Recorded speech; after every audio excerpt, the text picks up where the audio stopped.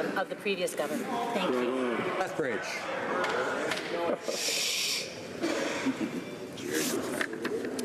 Mr. Speaker, again, we are witnessing complete mismanagement by the Liberals with regards to the marijuana file. Over a year ago, the minister was told that marijuana being sold at illegal dispensaries was laced with both pesticides and fungicides. Yet the minister sat on the report and did absolutely nothing. The complete mismanagement on this file and the minister's continual display of horrendous mismanagement is putting Canadian safety at risk.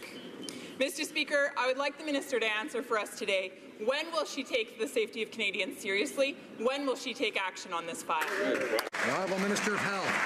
Mr. Speaker, we take the health and safety of Canadians with the utmost seriousness. We have in place a strict regime for access to medical marijuana that includes testing of products to make sure that they are safe and free from contaminants. There are however, dispensaries in this country which are illegal. It is not the responsibility of the government to regulate illegal products. We will continue to make sure legal products are safe for consumption and we will put in place a, a mechanism to make sure all marijuana is safe for consumption. Member for St.